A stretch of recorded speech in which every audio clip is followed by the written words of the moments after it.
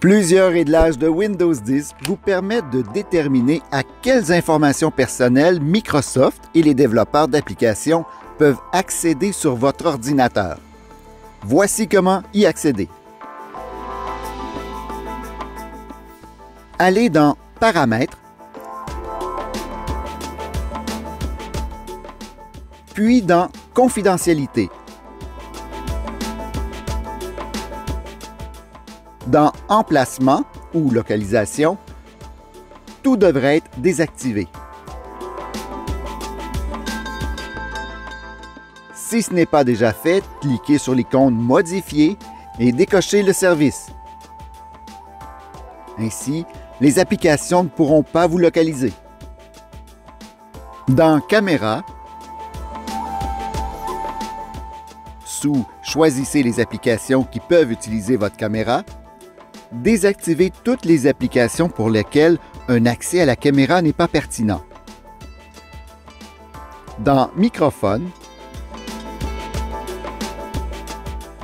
sous Choisir les applis du Microsoft Store qui peuvent accéder à votre microphone, désactivez toutes les applications pour lesquelles un accès au microphone n'est pas nécessaire. Dans les sections Calendrier, Courrier électronique et Contact, désactivez toutes les applications pour lesquelles l'accès à ces informations n'est pas pertinent.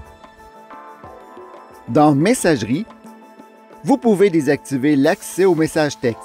Vous empêcherez ainsi les applications d'envoyer des messages non sollicités depuis votre ordinateur, comme des invitations à votre liste de contacts pour essayer un jeu.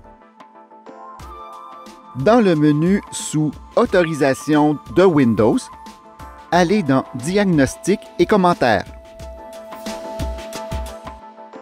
Pour limiter les données transmises à Microsoft, réglez le paramètre à De base. L'entreprise recueillera ainsi un minimum d'informations sur votre appareil et son fonctionnement.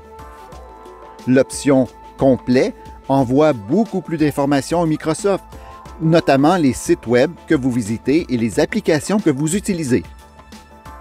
Au besoin, vous pourrez retourner dans les réglages de confidentialité pour permettre ou retirer l'accès à vos données personnelles. Merci de votre écoute et n'oubliez pas de vous abonner à notre chaîne.